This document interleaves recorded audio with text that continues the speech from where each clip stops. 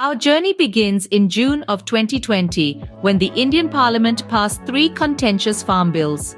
These bills, aimed at liberalizing the agricultural sector, were met with sharp criticism from farmers across the country.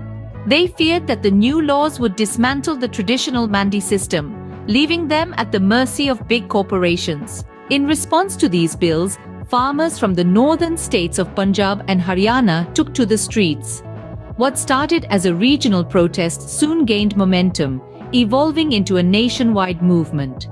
By November of 2020, thousands of farmers had marched to the borders of Delhi, the nation's capital, setting up camps and blocking major highways.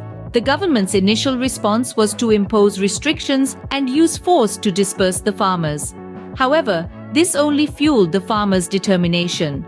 As the protests continued, they garnered international attention, with celebrities and influencers lending their voices to the cause. The government and farmer leaders held multiple rounds of talks, but these discussions were a stalemate.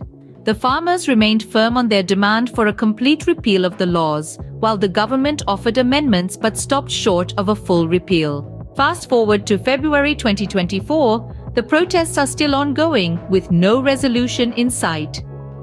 The farmers' protest has become a symbol of resistance, a testament to the strength of people's movements, and a significant event in Indian history. This journey through the farmers' protest in India sheds light on the power of collective action and the importance of dialogue in resolving conflicts. It is a reminder that in a democracy, the voice of the people is supreme and cannot be ignored. So, as we watch this movement unfold, let us remember that it is not just about farm laws, it is about the very essence of democracy, the power of the people.